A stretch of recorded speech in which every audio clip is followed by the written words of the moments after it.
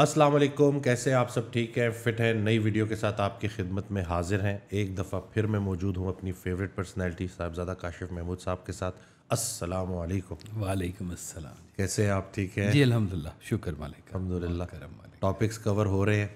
Comments जो आ रहे होते हैं लोग कह रहे होते हैं रिक्वेस्ट कर रहे होते हैं कि इन टॉपिक्स को कवर करें तो उसी सिलसिले को आगे बढ़ाते हैं।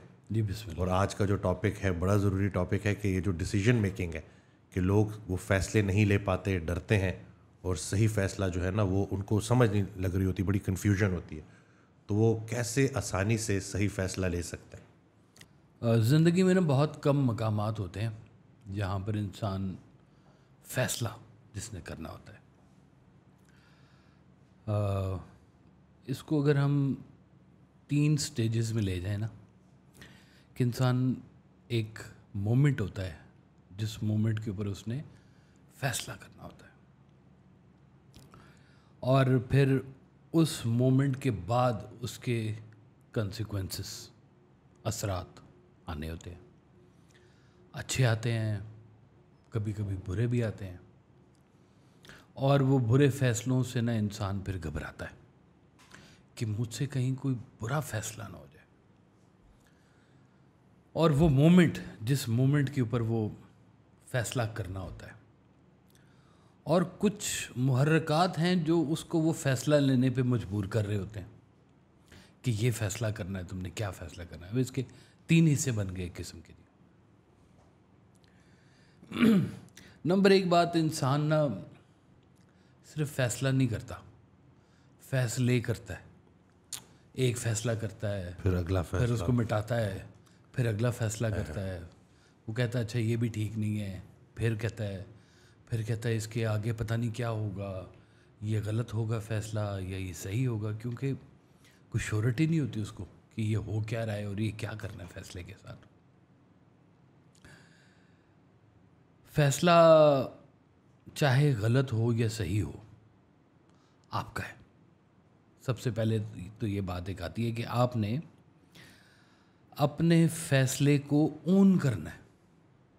गलत है सही है मेरा है। क्या वैसा फरमाते हैं कि इंसान के फैसले उसकी औलाद की तरह होते हैं? उसको ऊन करना चाहिए। कहते हैं कि तारीख के जो बड़े बड़े फैसले हैं ना वो अक्सर गलत ही थे। लेकिन ओन किए उन्होंने कि ये गलत थे या सही थे ये हमारे फैसले थे।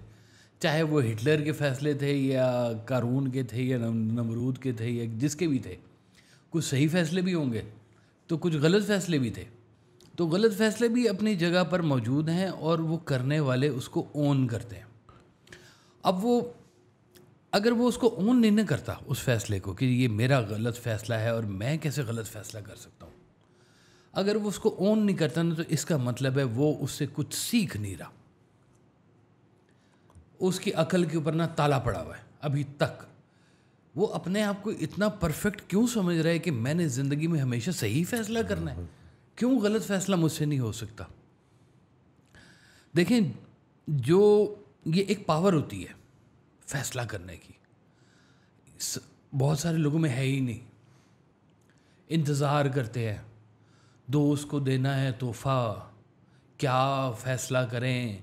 क्या लेना है, क्या देना है? वो पता चलता है इतनी देर में सालगिरह गुजर गई जितनी देर में तुमने डिसाइड किया कि तोहफा क्या करना था। अच्छा रिश्ता आया हुआ है, फैसला करना है इसका। तो फैसला करते करते पता चला कि वो रिश्ता कहीं और चला गया। उन्होंने फैसला कर लिया हुआ अपनी जगह पे। आप अभी फैसला करते रह गए हैं और वक्त गुजर गया हुआ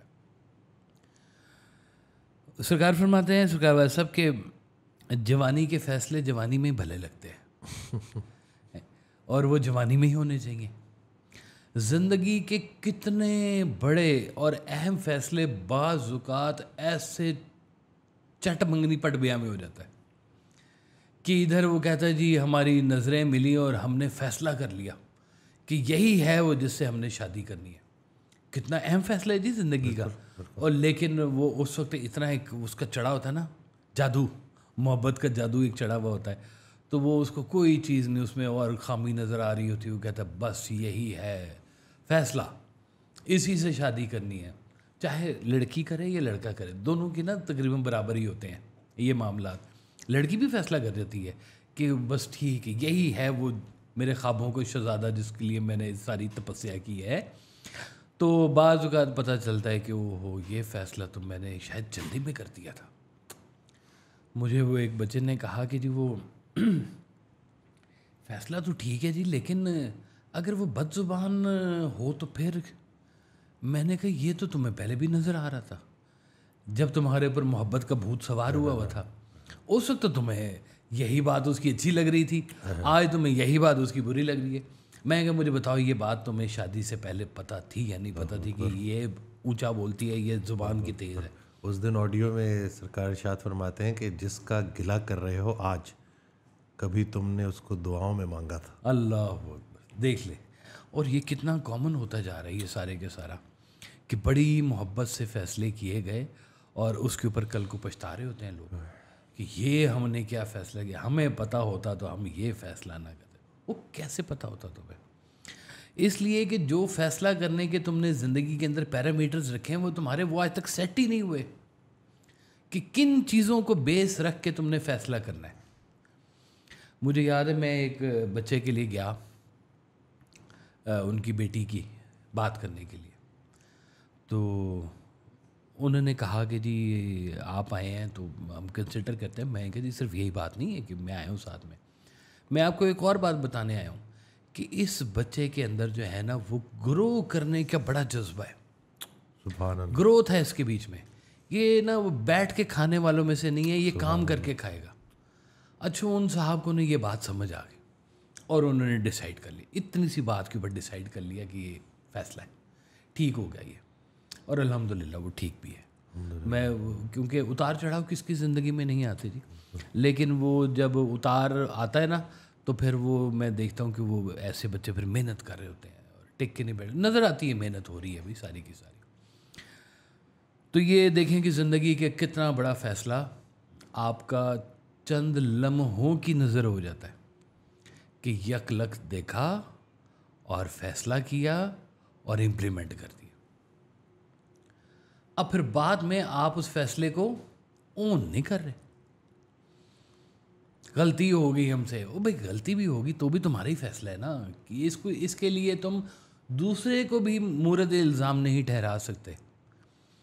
वो कहते तू फैसलाए तरक मुलाकात में गुम है। बंदा तेरी देरीना इनायात में गुम वाह है। वाह वाह सुभान अल्लाह वाह। तो वो फैसला करने वाला सोच रहा होता है कि तरक मुलाकात करनी है। और जो दूसरा होता है वो कहता है हम तो तुम्हारी इनायात में गुम है। कि क्या क्या हमारे ऊपर तुमने मेहरबानियाँ की हुई हैं। आज आपने वो मुझे एक वाक्य सुनाया था, वो जर्मनी वाले बच्चे का, क्या था जी, वो बताइएगा कि वो, बुज़ुर्गों ने कहा कि भाई, तुम्हारी तो मोसन है जिसको तुम इतना कंप्लेंट कर रहे हो। बिल्कुल बिल्कुल, वो गए जर्मनी गए, वहाँ पे शादी हुई, उनको नेशनैलिटी भी मिल गई, फिर किसी वजह से वो रिश्ता चल नहीं सका। तो वो उस शख्स का गिला कर रहे थे, उसको बुरा भला कह रहे थे, एक बुज़ुर्ग ने उसको कहा कि देखो, उसने तुम्हें बुलाया, अच्छी तरह से गए, इज़्ज़त के साथ गए, वरना जो पहली दफ़ा जाता है उसको कितनी मुश्किल से गुजरना पड़ता है। तुम्हें नेशनैलिटी भी मिल गई तो कहते हैं कि वो तो तुम्हारी मोहसिन है। क्या हुआ जो तुम्हारा उससे ताल्लुक़ जो है इतना अरसा नहीं चल सका? हाँ बिल्कुल तो वो एहसानात तो याद करो ना। बेशक।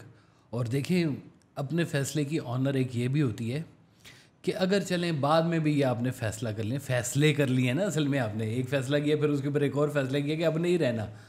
तो आप कहते थे कि कम अज़ कम ऐसे जुदा हो कि देख पका के जुदा हो। खाना पका के जुदा यानी कि एक अच्छे ताल्लुकात के साथ तुम अलहदा करो कि ये पहला हमारा जुड़ने का फ़ैसला भी हमारा था अब हमारा अलहदा होने का फ़ैसला भी हमारा है। झगड़ा किस बात का इधर में? झगड़ा निकाल के करो जो करना है। लेकिन इंसान झगड़ालू है झगड़ता है। वो उसको अच्छे दिन नहीं याद आ रहे होते उसको वो दिन याद आ रहे होते हैं जिन दिनों में लड़ाइयाँ हुई हैं। उसको अपने वो दिन कभी भी नहीं याद आएँगे कि जिस दिन में वो उसको वो मोहब्बत भरी नज़र वो नज़र आई थी। और उसने ज़िंदगी में फ़ैसला किया था। वो भूल जाता है और उसको वो करख्त चेहरे याद आने शुरू हो जाते हैं कि ये वो चेहरा था जिसने मुझे बहुत तंग किया। शायद हाथ उठाया है, चाहे बदजुबानी किया, कुछ भी किया। तो फैसले करते वक्त आप देख नहीं रहे हैं और फैसला जब हो जाता है, उसके बाद उसको ओन नहीं कर रहे होते और ये सब कुछ इसलिए हो रहा होता है कि आपका ज़िंदगी में कभी मकसद डिज़ाइन नहीं हुआ। आपने ज़िंदगी का कभी कोई अपना एक रुख रखा नहीं है। आप थोड़ी देर में ये फैसला करते हैं कि मैंने एमबीबीएस करना है थोड़ी देर में फैसला करते हैं मैंने इंजीनियरिंग करनी। है थोड़ी देर में फैसला करना मैंने आईटी करनी है। तो आप टाप रहे हैं ज़िंदगी में। और ये सिर्फ़ एक जगह की बात नहीं है। गाहे गाहे आपका एक ख्याल आता है कि मुझे ये काम करना है। मुझे इस दरख्त के ऊपर लगे हुए सेब गिनने हैं। अब या तो इसकी तुम्हारी मकसदियत डिज़ाइन हुई हुई हो कि तुमने सेब क्यों गिनने तो चलें, फ़ैसला कर लिया मैंने कि सेब गिन के रहने हैं मैंने। अब वो आधे सेब भी नहीं गिने होंगे ना तो वो दूसरा फ़ैसला कर लेगा, ये मैं क्या बकवास काम कर रहा हूँ? वो छोड़ो परा। तो तुमने अपनी दोनों बातों को ऑनर नहीं किया। ना पहली बात को ऑनर किया, ना दूसरी बात को सरकार इशाद फरमाते हैं कि दो ख्याल वसवसा है, एक ख्याल सिरात मुस्तकीम सरकार वसल्लम से पूछा गया ना साहब कराम ने पूछा कि जी सिरात मुस्तकीम क्या है? तो आपने ना एक सीधी लाइन ऐसे बनाई छड़ी से। और फिर उसमें से ना कुछ ऐसे लाइनें और भी निकाली। तो आपने फरमाया इधर नहीं जाना सीधा जाना है। ये है सिरात मुस्तकीम यानी कि ज़िंदगी में आपको ऑप्शंस मिलती हैं। देखिए फैसला कहाँ करना होता है? जहाँ दो राह आ गया। कि आपके पास ऑप्शन मौजूद है। फैसला तो वहीं पे होता है ना जी कि आइदर दिस और दिस ये करना है या ये करना है इसका नाम है फैसला। अब जब कभी ज़िंदगी के अंदर आपको ये मौका मिले तो आपकी कम अज़ कम जहन की वो वाली परवरिश होनी चाहिए कि आपको डिसाइड हो कि आप में इन दोनों में से क्या चीज़ लेनी है। और वो तो बहुत ही कीमती लोग हैं जो सरकार वासन ने फरमाया कि जिनको दूसरी ऑप्शन ही नहीं मिलती। वाह वाह वाह वाह वाह वाह वाह। एक ही रस्ते के मुसाफिर हैं वो। एक ही ख्याल के साथ चलते जा रहे हैं। अगर फ़र्ज़ किया जी आप किसी जगह खड़े हो कि जी यहाँ पे बुराई है यहाँ पे अच्छाई है तो अट्रैक्शन आपको बुराई में नज़र आ रही है। और पता है कि अंजाम उसका बुरा है और आपको पता है कि अच्छाई का रास्ता है थोड़ा मुश्किल है थोड़ा गरीबी वाला है लेकिन ये अच्छा रास्ता है ये वाला। तो आप तजब्जुब में क्यों हैं वहाँ पर? आपका पहले दिन से डिसीज़न क्यों नहीं हुआ कि हमने सरात मुस्तकीम नहीं छोड़नी है? ये बोली परवरिश नहीं हुई भी। बिल्कुल। आप देखें कि इंसान के पास फैसला है क्या? किस चीज़ का फैसला करना है उसने बहुत सारी चीज़ें तो हमारे मज़हब ने हमें समझा दी हैं पहले से ही। फैसला हो गया है मैं वाह। कि ये तुम हो ये तुम्हारे माँ बाप है, ये तुम्हारे बहन भाई हैं, ये तुम्हारा कद है, ये तुम्हारा रंग है, ये तुम्हारा मज़हब है, ये तुम्हारा जजीरा है जिसके ऊपर तुमने फिरना है। इस जजीरे के अंदर जो कपड़े मिलेंगे वही पहनने हैं, इस जजीरे के अंदर जो मिलेगा वही तुमने खाना है। कौन से इतने बड़े और इसके अलावा तुमने फ़ैसले करने ये ज़िंदगी के फ़ैसले तो पहले से हुए पड़े हैं। फिर उसके बाद आपका मज़हब आपको थोड़ी सी आपकी ना वो ट्रीटमेंट करता है। वो कहता है कि अच्छा ये ख्याल है, ये नेक ख्याल है, ये बद ख्याल है, इस ख्याल का ये निकलता है मतलब इस ख्याल का ये निकलता है मतलब और कुदरत ने कितनी बड़ी मेहरबानी फरमाई हुई अल्लाह ताला ने, कि आपको बता दिया कि ये बुरे ख्याल की सज़ा नहीं है आपको। लेकिन नेकी के ख्याल की ही आपको इनाम है अजर है आपका। बुरा ख्याल जब तक अमल में नहीं आएगा तब तक आपको उसकी सज़ा नहीं मिलनी। बड़ा एडवांटेज है जी। इतना बड़ा एडवांटेज है। अच्छा सूफिया कराम तो खैर वैसे भी ज़रा बहुत ही डेलिकेटेड से होते हैं ना वो कहते हैं कि पहला इलाज उस बुरे ख्याल का होना चाहिए। वरना हो सकता है कि वो आपको टेम्प्ट करे और आपको अपने साथ लेके चला जाए। इब्तदा तो ख्याल से ही होती है ना इब्तदा तो हर गुनाह की ख्याल से होती है। बल्कि ख्याल नज़रों के बीच में से निकल के आ जाता है ऐसे और आपको बताता है कि वो ये तुम्हारा ख्याल है जनाब असल में। तो वो अगर ख्याल की आपकी परवरिश नहीं ना हुई तो फिर मुमकिन है कि आपका फ़ैसला गलत हो जाए। लेकिन हम चूँकि ना अ, हमारी कामयाबियाँ फ़र्क हैं हमारे अमल फ़र्क हैं हमारी दुनिया को देखने की नज़र फ़र्क है हम लोग गरीबी को बुरी चीज़ समझते हैं। हालाँकि तमाम अम्बिया कराम के साथ ही जुड़ी हुई है। हम उन लोगों को कह रहे हैं कि जिनको हम कहते हैं खुश नसीब तरीन लोग अम्बिया अलैहिस्सलाम यानी कि अल्लाह के इनाम याफ्ता है वो तो सीधे के सीधे चोज़न वन है वो तो। और अल्लाह मियाँ ने उनको क्या दिया? गरीबी दी। वरना कोई कम से कम कोई ना कोई नबी तो आके कोई फैक्ट्री अपनी लगा जाता ना जी। कोई ना कोई आके मेल चला देता नबी कोई। किसी ने नहीं किया। वो कहने कहा जी ये हमें गरीबी जो है ना ये कबूल है। वो इतना ज़्यादा रखा ही नहीं जिसका हिसाब देना पड़े। सरकार दो आलम सल्लल्लाहु जब अ, शादी थी हज़रत फ़ातिमा ज़हरा की मौला ली सरकार के साथ तो जहेज़ का आपको पता क्या इंतज़ाम था। वो एक चीज़ बेची तो उसकी वो खाना खिला दिया तो साथ घड़ा दे दिया तो चटाई दे दी तो ये था टोटल कहानी। इसके बीच में अब कहाँ से कोई इतने लंबे? अच्छा वो फैसला करना फिर क्या था कि जी, किसके साथ होनी चाहिए? वो तो खैर मौला अली थे ना, वो तो एक और बात है। लेकिन हम लोग ज़िंदगी में करेक्टरिस्टिक्स नहीं देख रहे होते लोगों के। किरदार नहीं देख रहे हम उसका। हम क्या देख रहे हैं? उसका माजी, उसका पैसा, उसकी शोहरत, उसकी नामवरी और इन सारी चीज़ों के बावजूद वो अगर आके तो बेटी को एक थप्पड़ लगा देना तो सारी की सारी चीज़ें धरी रह जाती हैं। बिल्कुल से एक शादी दो बहुत बड़े ख़ानदानों में इधर भी फुल रिच फैमिली इधर भी फुल रिच फैमिली यानी कि पैसों की दोनों तरफ़ जैसे होती नहीं वो कोलैबोरेशन दो दो बिग ग्रुप्स की है marriage है। बिज़नेस मैरिज जिसको बोलते हैं जी। तो वो दोनों बहुत जाइंट्स और वो शादी उनकी तय हो गई। शादी से एक दिन पहले लड़के की माँ ने लड़की को फ़ोन करके पूछा कि आप बेटी को गाड़ी कौन सी दे रहे हैं? तो उधर से लड़की के माँ ने कहा जी हमारी तरफ़ से जवाब है। हमने ये शादी नहीं करनी। इतने रिच आप लोग भी हैं हम भी हैं। अभी भी आपके दिल में लालच फंसा हुआ है कि आपने ये देखना है कि गाड़ी कौन सी दे रहे हैं? डिसाइड कर दिया। और उन्होंने कहा नहीं नहीं ये गलत फैसला होने लगा था हमसे। यहाँ लालच फंसा हुआ है। लालच को निकाल दिया वो बेटी अपने घर तो वो अपने घर। शादी ख़त्म। खर्चा खुर्चा हुआ पड़ा हुआ था। वो सारी चीज़ें हॉल बुक थे कार्ड छप चुके हुए ज़िंदगी थे। तो बच गई ना। ज़िंदगी बच गई। तो ज़िंदगी बचाने वाले जो फार्मूले हैं ना जी तो उसके बीच में उसको क्या चीज़ नज़र आई? लालच। तो यहाँ तो शादी करने वाले पहले से लालची हुए बैठे हुए ज़िंदगी के अंदर कहीं पे आप कहते हैं जी पार्टनरशिप करनी है जी हमने किसी के साथ। तो पार्टनरशिप में हम क्या चीज़ देख रहे हैं कि इससे हमें कितना फ़ायदा होगा। ये इस पार्टनर को साथ मिलाने में हमें कितना फ़ायदा होगा। तो हम ये नहीं देख रहे कि हमारा उसका मिलना नसीब का क्या होगा और इसकी क्या क्वालिटीज़ है, मेरी क्या क्वालिटीज़ हैं, दोनों का कलेबोरेशन देखें, एक बहुत बड़े जिन का और एक बहुत चूटी की कलेबोरेशन कहाँ से होगी? नहीं होती। बिल्कुल। तो वो कहते हैं अच्छा एक वो टर्म बिज़नेस में कहलाती है, उसको कहते हैं मुदारबा मुशारका कहते हैं, कि एक कहता है कि मेरे पास पैसा है, दूसरा कहता है मेरे पास स्किल है। स्किल वाले के पास पैसा नहीं है, पैसे वाले के पास स्किल नहीं है।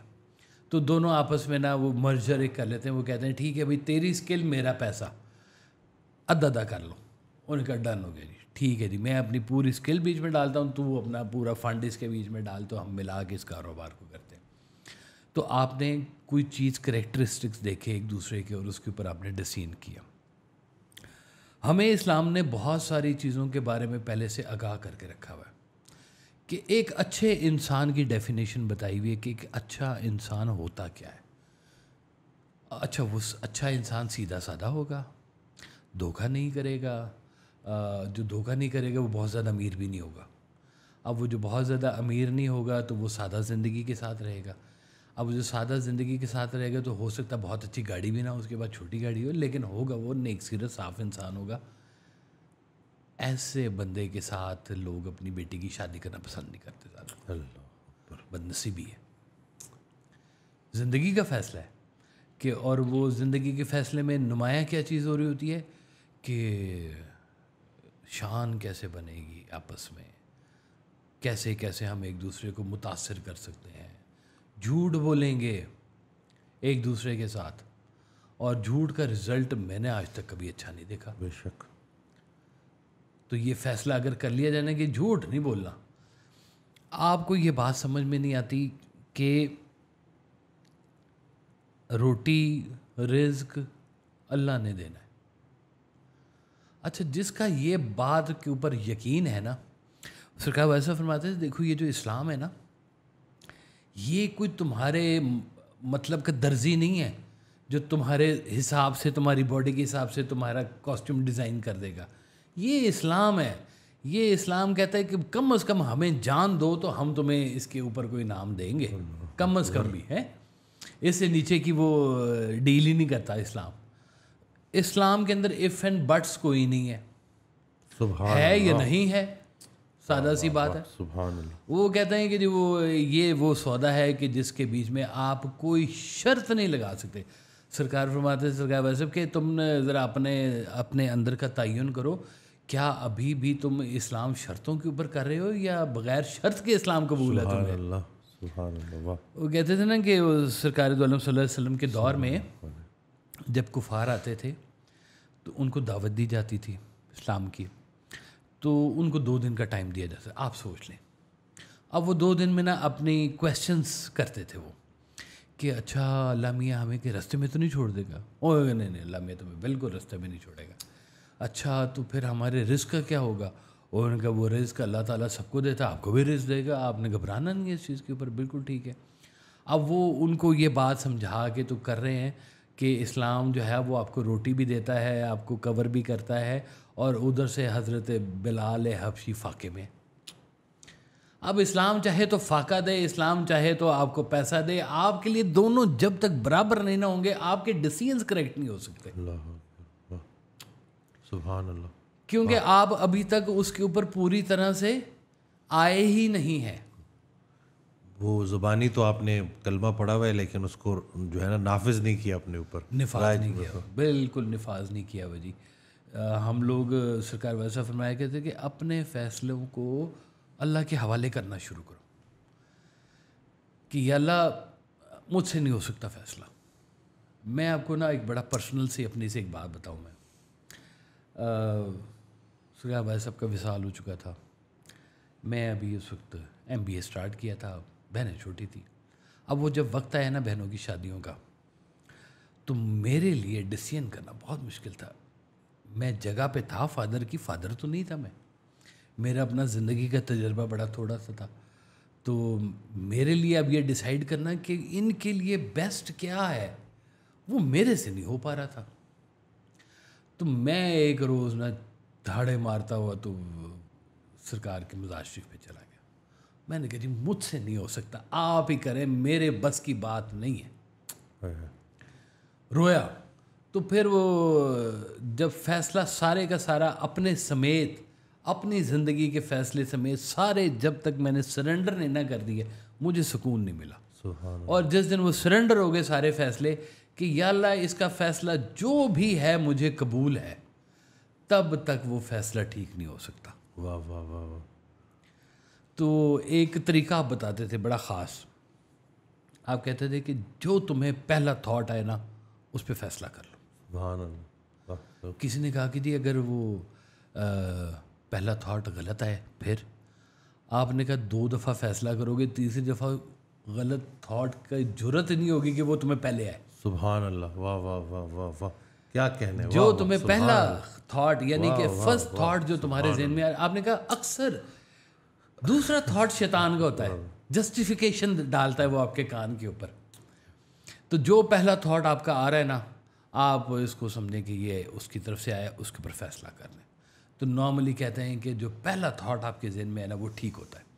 दूसरा थाट ना आपको गुमराह करने के लिए आता है। वो गौर कर ध्यान कर क्या कर रहा है भाई? तो कश्तियाँ जला रहा है। वो कश्तियाँ जलाने वाले कामयाब हुए हैं। जिन्होंने कश्तियाँ जला दी ना फैसला कर लिया कि नहीं जाना वापस कश्तियाँ जला दो हम यहाँ पर मर जाएँगे कट जाएँगे ठीक करेंगे इसको जो भी होगा। तो जिन्होंने वो कश्तियाँ जला दी उनके वो फैसले ठीक हो गए। उन्होंने कहा कि बस ये हमने अब अल्लाह के हवाले कर दिया फैसला और ये फैसला अल्लाह का फैसला होगा। वो हमारी शहादत चाहता है तो शहादत हम दे देंगे। वो अगर हमारी फतह चाहता है तो हम फतह करेंगे। वापस नहीं जाना हमने। जो पसंद है उसको हासिल कर लो या जो हासिल है उसको पसंद कर लो। सुकून मिल जाएगा। डट जाओ। डट जाओ बस। सादा सी बात है। कोई तो ज़िंदगी में फैसला करना है कि नहीं करना। ये जो अब ज़िंदगी का जब चलता है ना जी निज़ाम चलता है। तो आपके पास आती है शोहरत। सबके पास नहीं आती चलें। जिसके पास आती है उसको ख़तरा है। जिसके पास नहीं आती उसको ज़रा कम ख़तरा है। क्योंकि ये- इसके बीच में दोनों बातें हैं ना जी। अब वो शोहरत आ गई आपके पास। वो शोहरत आपसे डिसाइड करवाना शुरू करती है कि भाई अब तुम मशहूर हो गए हो। अब तुम ये वाले फ़ैसले नहीं कर सकते। अब तुम्हें इसकी एहतियात करनी पड़ेगी। तो वहाँ पे जब तक वो गुरु का फ़ैसला या इस्लाम का फ़ैसला या अल्लाह का फ़ैसला या अल्लाह के रसूल का फ़ैसला आपके मद्देनज़र नहीं होगा वो शोहरत आपको गुमराह करेगी लाजमी। हलाल हराम आ गया आपके सामने। कितने खुशकिस्मत लोग हैं जिनको हराम कमाने का मौका ही नहीं मिलता। अल्हम्दुलिल्लाह। अल्हम्दुलिल्लाह। वो चाहे ख्वाहिश भी हो उसकी है?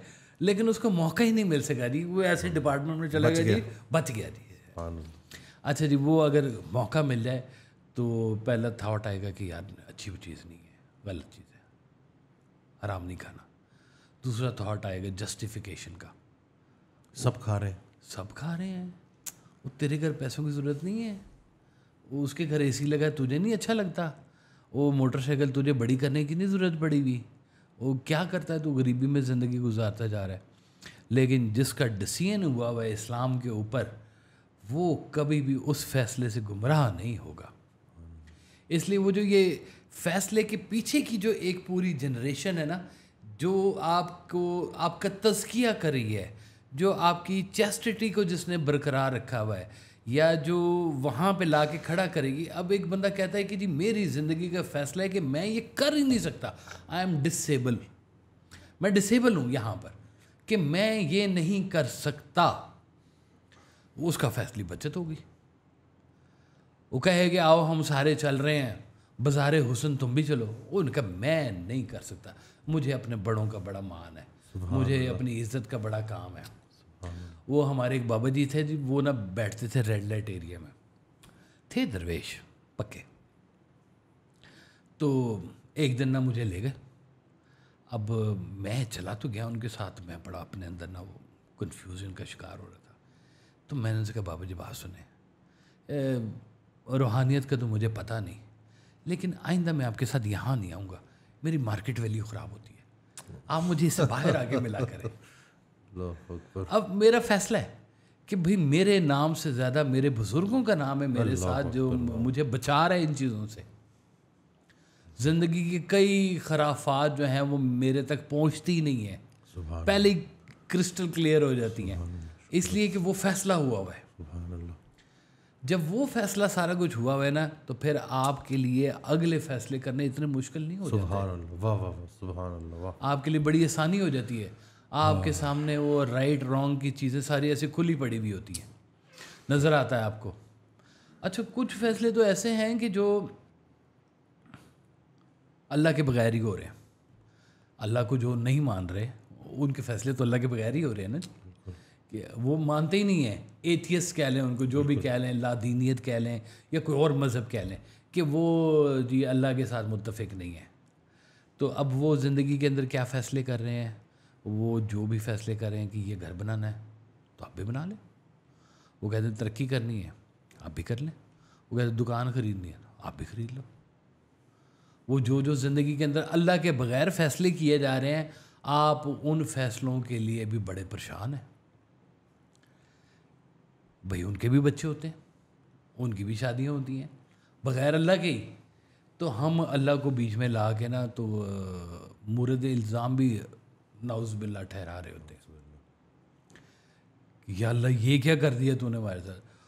तूने अल्लाह के सारे अल्लाह को आ, कोई ना ये नहीं कह सकता कि ये क्या किया। और जिसका तो कामिल ईमान है उसके लिए तो ये बाकायदा 302 का जुर्म है ये वाला। कि वो कैसे कह सकता है ये? उसका तो फेथ है कि जो करता है अल्लाह करता है और अल्लाह जो करता है सही करता है। वो अल्लाह के फैसले को मानता है कि, या अल्लाह, तू मुझे गरीब रखा है, तेरा फैसला। तू मुझे अमीर रखे, तेरा फैसला। तू मुझे इज़्ज़त दे, तेरा फैसला। तू मुझे जलालत में ले जाए, तेरा फैसला। वो कहते हैं ना कि दरवेश जा रहा था तो वो किसी ने वो उसकी छड़ी से कोई कीचड़ उड़ा तो उसने उसको थप्पड़ मार दिया। तो थोड़ी दूर आगे गया तो अब वो हालत दरवेश की ख़राब हुई थी तो गुजरा तो दूध वाले ने बुला लिया। उन्होंने कहा बाबा जी आओ तुम दूध पियाइए सर्दी है कि दूध पी लो है?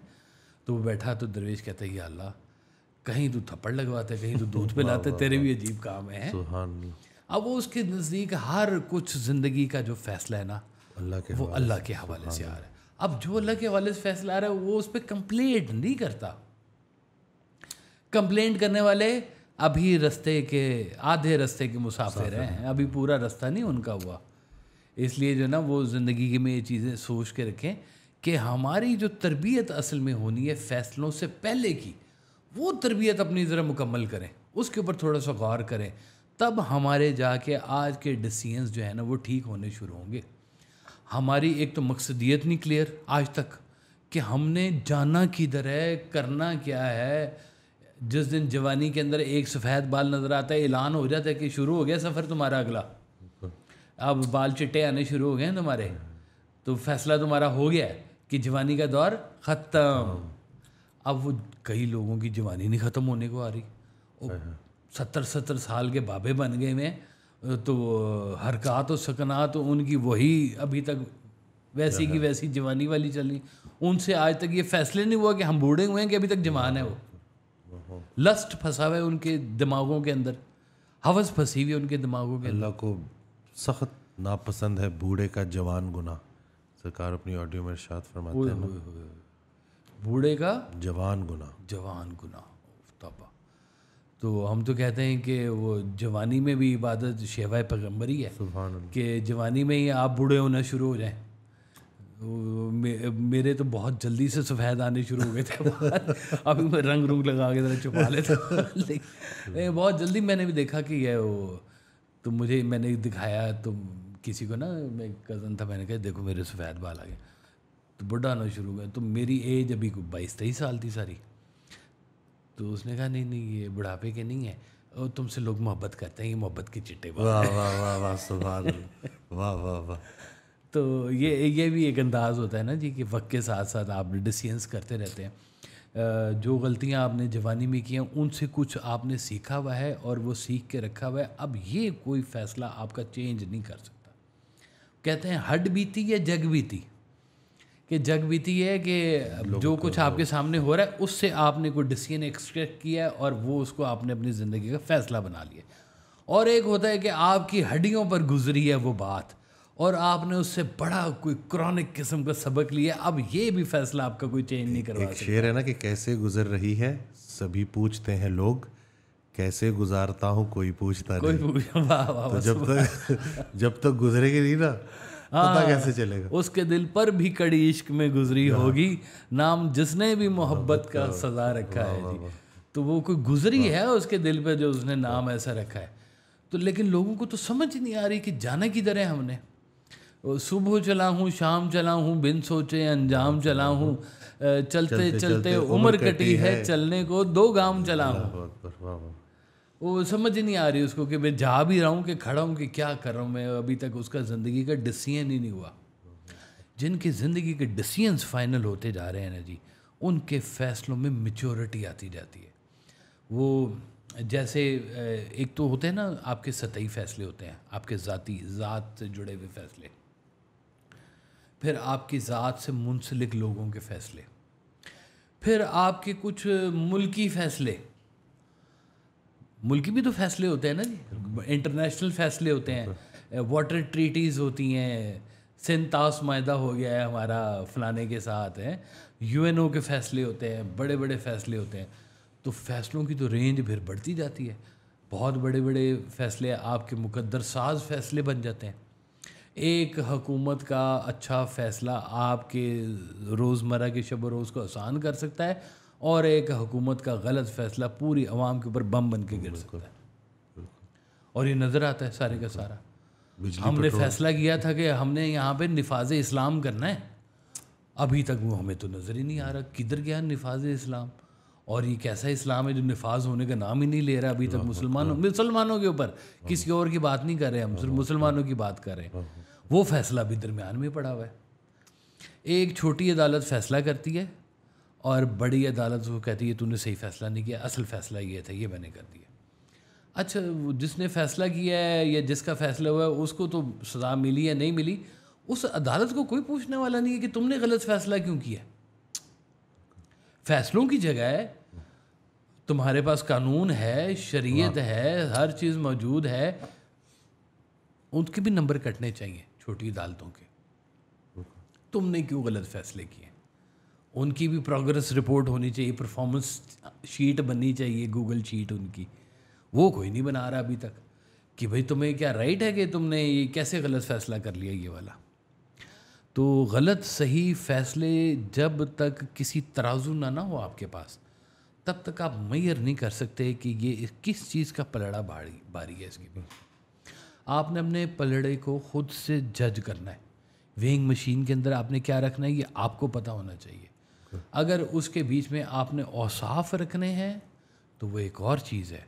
अगर दूसरे में आपने दुनियादारी रखनी है तो वो एक और चीज़ है। दोनों के रिज़ल्ट अलग हैं। जब आप दुनियादारी के फैसलों को लेके चल रहे हैं तो रिज़ल्ट दुनियादारी जैसे होंगे। सरकार वैसा फरमाते थे कि तुम बच्चों को अंग्रेज़ी स्कूलों में पढ़ा रहे हो और रिज़ल्ट दीनी मांग रहे हो कैसे? अल्लाह अकबर। कैसे होगा ये? तो फैसला तो तुम्हारा है कि तुम बच्चों को पढ़ा रहे हो अंग्रेज़ी स्कूलों में। डिमांड तुम्हारी है कि तुम बच्चे दीन ही नहीं निकल रहे अभी तक उसके बीच में से। क्या दिया है तुमने दीन का उसके हवाले से? और जिनको दीनी दिया है वो जो मदरसे में डाल दिया आपने उनको कोर्स करवा दिया उनको ये करवा दिया तो पता चलेगा जी वो तो दुनियादारी में बहुत कमज़ोर रह गए वो तो इमाम मस्जिद बन गए जी ज़्यादा से ज़्यादा या किसी स्कूल में इस्लामियात पढ़ाना शुरू कर दिया उसने। इससे ज़्यादा कि उनकी रेंज ही नहीं आ रही। एच ई सन के बच्चे जो पढ़े हुए हैं उनको पहले ही आप उठा के हुकूमत के फैसले करने वाले डिपार्टमेंट के ऊपर लगा देते हैं। कि ये फैसले करेंगे जनाब फ्यूडल लॉर्ड्स के बच्चे हैं ये सारे के सारे और ये आपने इनसे फैसले कराने हैं। क्या करेक्टरिस्टिक्स हैं? क्या उसके पीछे रेशन क्या सारी रेशो क्या निकल रही है आपके गलत सही फैसलों की? आप तो पहले तंग आए हुए फ्यूडल लॉर्ड्स के ऊपर। तो नीचे से कौन सी सच्चाई निकल आएगी जो उनको फिर तोड़ेगी? उसको तो वैसे ही तोड़ दिया आप। उसको तो आपने पहले हाथ ही तोड़ दिया। आपने उसकी एजुकेशन की ग्रेडिंग ही ऐसी कर दी है आपने फैसला खुद ही कर दिया है कि ये जाएँगे इमाम मस्जिद जाएँगे ये स्कूल टीचर बनेंगे ये नौकरियाँ करेंगे ये सिविल सर्विस करेंगे जनाब ये हमारे सरों पे ये हमारे सरों के ऊपर हुक्मरानी करेंगे। मैं तो कहता हूँ सिविल सर्विस का डिपार्टमेंट होना ही नहीं चाहिए। फजूल तरीन बात है। मुझे तो बिल्कुल भी नहीं पसंद ये वाला डिपार्टमेंट हालाँकि हमारे बेबहा बच्चे हैं इसके बीच में। लेकिन फॉर्मेट नहीं मुझे पसंद। कि आपने उसकी ज़ाती क्वालिफिकेशन को कहीं पे जज ही नहीं किया। मैं कहता हूँ कि जी, अगर आप कहते हैं कि जी सोशल मीडिया आपको चाहिए तो आप क्या करेंगे? सोशल मीडिया गुरु ढूंढेंगे। ठीक है ना जी? स्टेट लाइफ एक इदारा है। स्टेट बैंक एक इदारा है। उसका जो भी गवर्नर या जो भी आप चाहते होंगे कि वो इस इदारे को तरक्की करवाए आप उसके लिए कोई एक्चुरियल साइंसिस का बंदा ढूंढेंगे जो डाटा मैनिपुलेशन का काम करता होगा और उसके साथ तो आपको पता होगा कि ये बंदा है जो इस डिपार्टमेंट को सही ऊपर लेके जाएगा। उसकी जगह पे सिंध के फ्यूडल लॉर्ड के शराबी बच्चा बिठा देंगे उससे आपने क्या डिसीन करवाने मतलब ये मैं अपनी आँखों से देखता रहूँ। Sir this is not a car this is a bar वाहियात लोग। ये डिसीज़न करेंगे हमारा। इस्लामी ममलिकत का ये डिसीज़न करेगा। डिसीज़न के पीछे पूरी एक जनरेशन काम कर रही होती है। डिसीज़न के पीछे पूरी एक तरबियत काम कर रही होती है। ऐसे ही गलत सही डिसीज़न नहीं होते हैं। रूट कॉज एनालिसिस कर रूट कॉज एनालिसिस पूरे का पूरा ज़रूरी है। अगर इस मुल्क के फ़ैसले करने हैं अगर आपने अपनी ज़ात के लिए फ़ैसले करने हैं अगर आपने अपने माशरे के फ़ैसले करने हैं तो जब तक पीछे मीज़ान दुरुस्त नहीं होगा ना आपका फ़ैसला कभी दुरुस्त नहीं हो सकता। दुरुस्त फैसले के लिए हम जिसको दुरुस्त समझते हैं ना वो बात होनी चाहिए।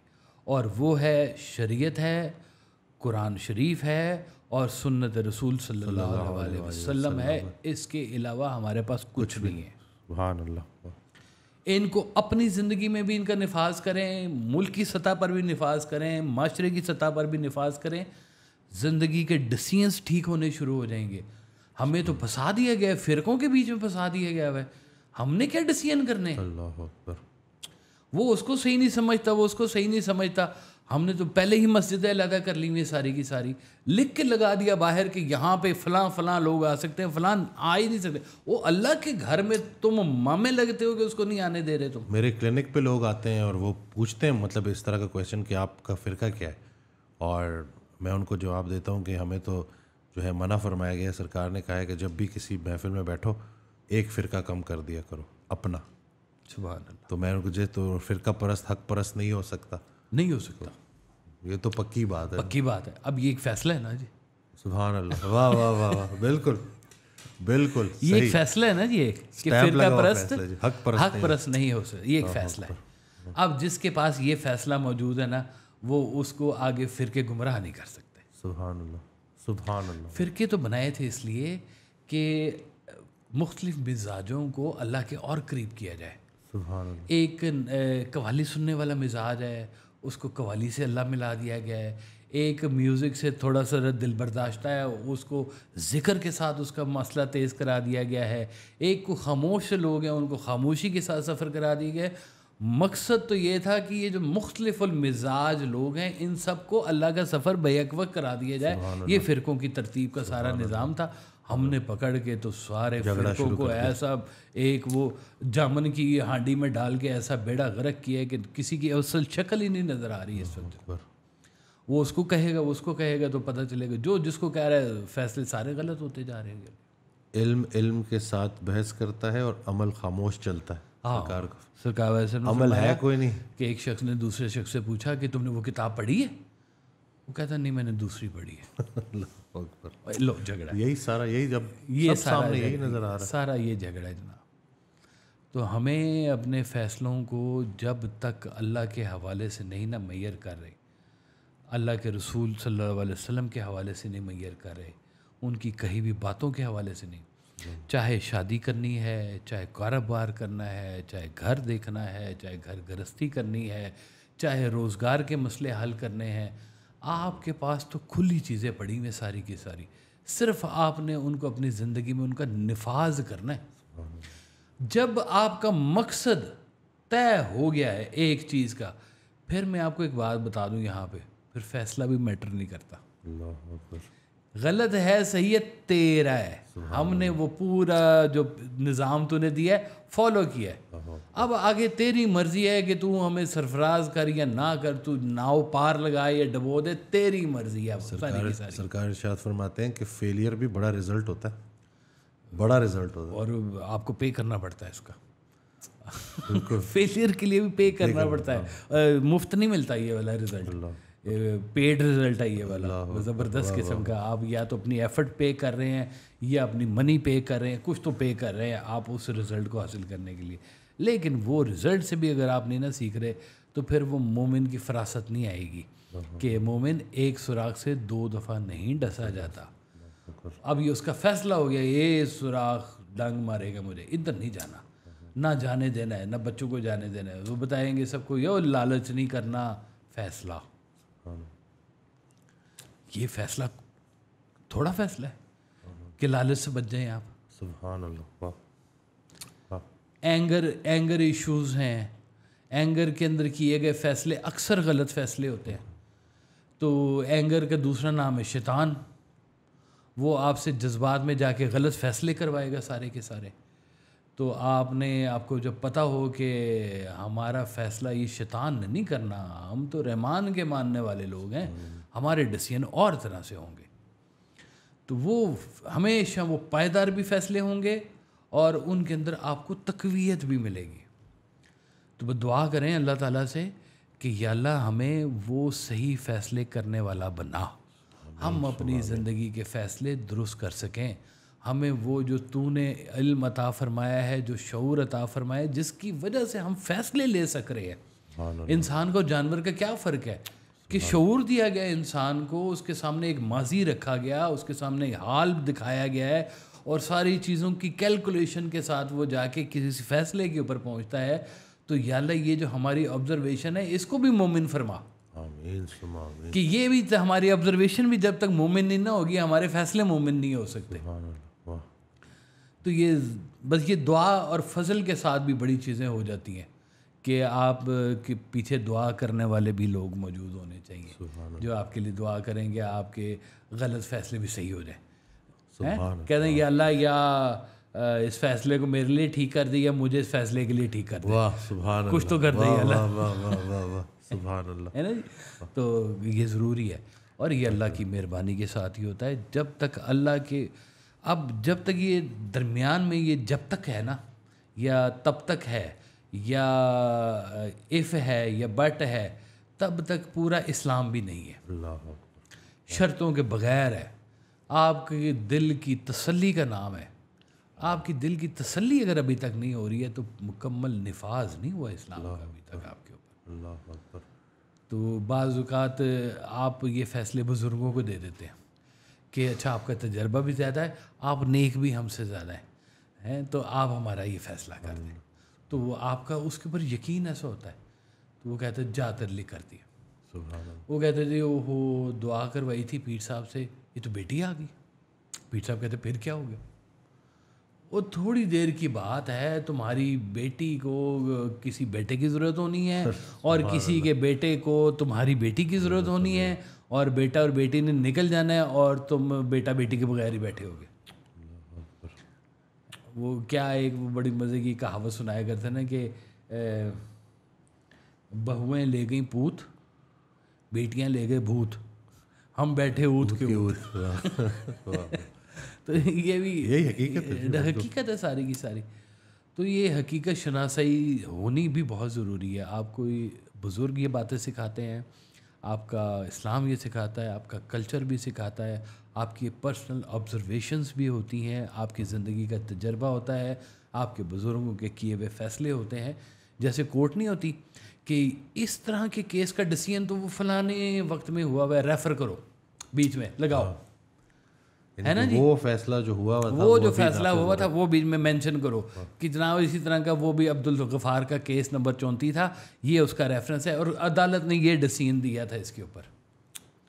तो आपके तो डिसीज़न कई हुए पड़े हुए पहले से। वो उनको भी निकालें ना फाइलों में से अपनी ज़िंदगी के अंदर इम्प्लीमेंट करें और दे रेफरेंस कि जनाब रेफरेंस नंबर ये है कि जहेज़ नहीं है फैसला है हमारा। हमारा डिसीज़न नंबर ये है कि जनाब हमने शो नहीं करना है। हमने गरीबों को जो है वो कॉम्प्लेक्स नहीं करना है। हम खामोशी से सारे काम करेंगे हम सादगी के साथ सारे काम करेंगे। हमारे नज़दीक अच्छी सीरत वाला अच्छा इंसान है अच्छा दिखना और अच्छा पोर्ट्रे करना सारी काम नहीं है ये वाला। ज़ाहरी हुसन को देखते देखते लोग वो तितली की तरह हैं कि जिनको वापसी का रास्ता भूल गया हुआ।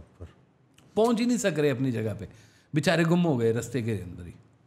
फैसला क्या था तितली पकड़ने गए लो अंदाज़ा करो। वो आता ही आज तक जा रही है वो तो। ज़िंदगी है एक तितली है कई आती रहती हैं। कई ख्याल ऐसे आते रहते हैं, तितली की तरह उड़ते हुए आते हैं। आपको बहा के ले जाते हैं। गुमराह हो जाता है गुमराह हो जाता है इंसान। तो जब तक वो वो हिसार वक्त को मैं तो मैं मैं तोड़ कर निकल न सका तुम तेरे जमाल का पहरा लगा रहा हर सू। अल्लाह। तो वो जमाल का पहरा जिसके ऊपर लगा हुआ है ना जी वो महफूज रहेगा वो प्रोटेक्शन में है। वो तितली के पीछे नहीं भागे वो नहीं भागेगा वो तो जमाल का पहरा है ना उसके ऊपर। तो जमाल के पहरे रहने चाहिए ताकि आप ज़िंदगी के अंदर गुमराहियों से बचें। तो अपनी अकल को अकल कुल भी ना समझें और बिल्कुल खाली भी ना समझें। बुज़ुर्गों के फैज़ से इसको चलाएँ। उनके डिसीज़न से चलाएँ। तो ये ज़िंदगी में हमारे फैसले भी ठीक होने शुरू जजाकल्ला मैं उम्मीद करता हूँ इस वीडियो से आपको बहुत कुछ सीखने को मिला होगा, जैसे मुझे मिला। चैनल को सब्सक्राइब करना ना भूलिएगा। दुआओं में याद रखिएगा। अल्लाह हाफिज़।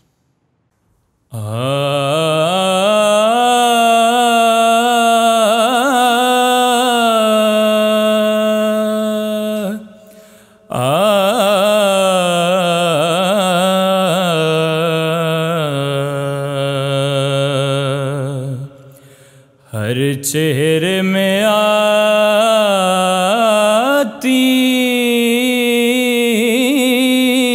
है। नज़र यार की सूर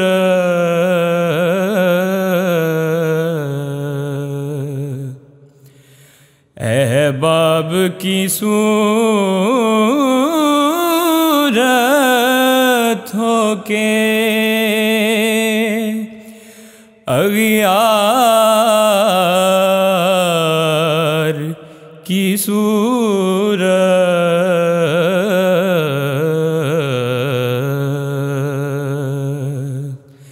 हर चेहरे में आती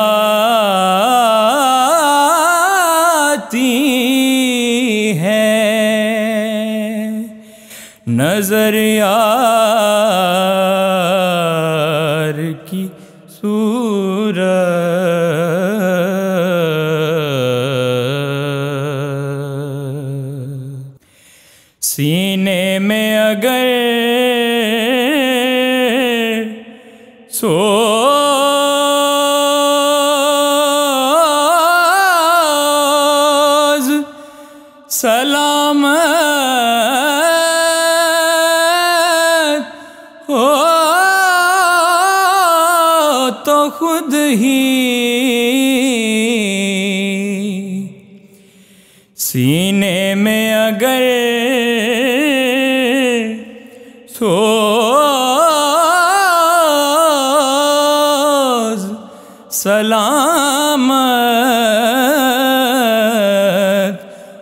तो खुद ही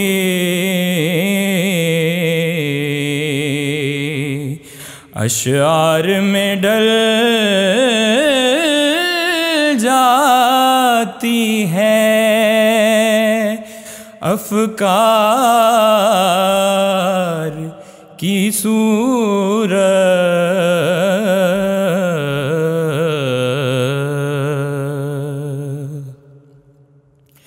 जिस आँख ने देखा तुझे उस आँख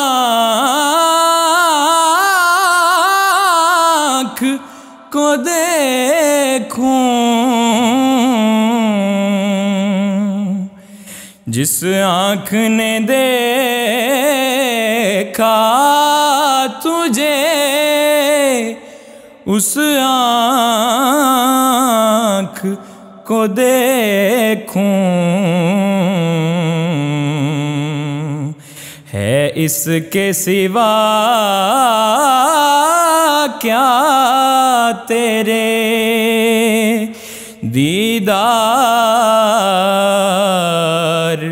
की सूरत?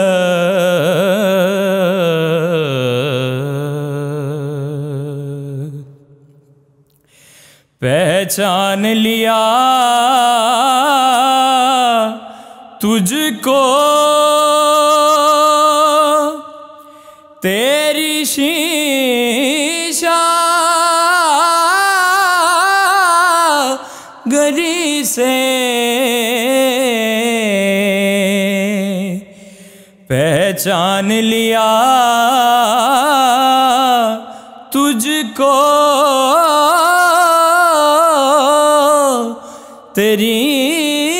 शीशा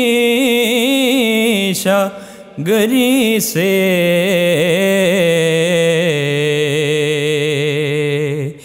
आती है नज़र फन से ही फनकार की सूरत।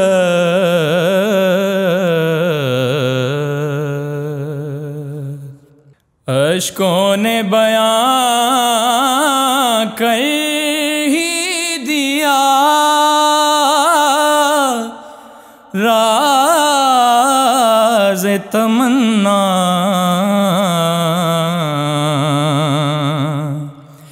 अशकों ने बयां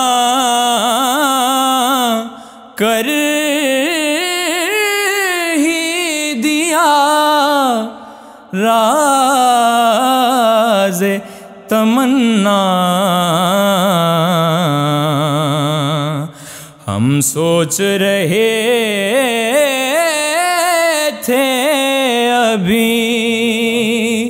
इजहार की सूरत।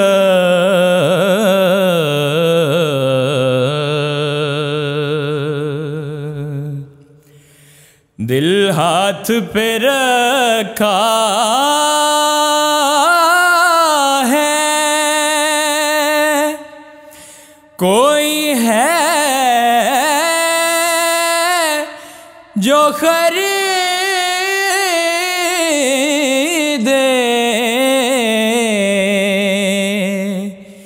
दिल हाथ पे रखा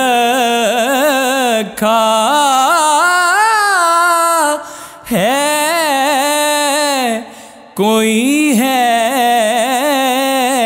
जो खरीदे।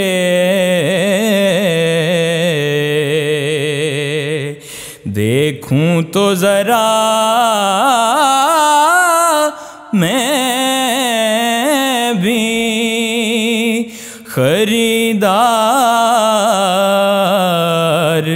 की सूरत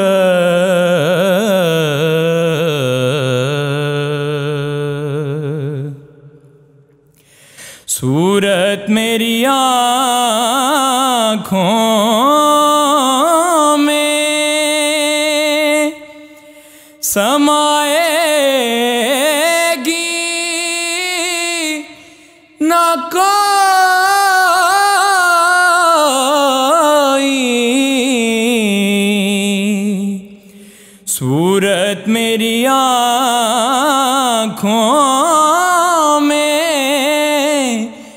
समाएगी न कोई। नज़रों में बसी रहती है सरकार की सूरत।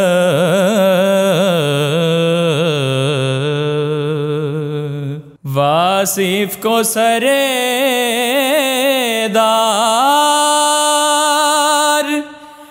पुकारा है किसी ने। वासिफ को सरेदार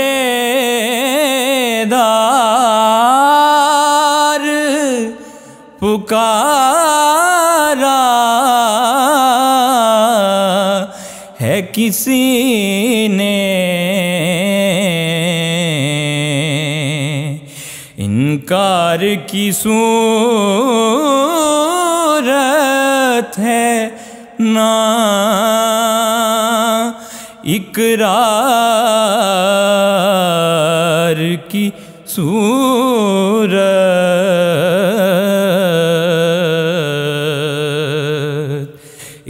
इनकार की सूरत है ना। इकरार की सूरत।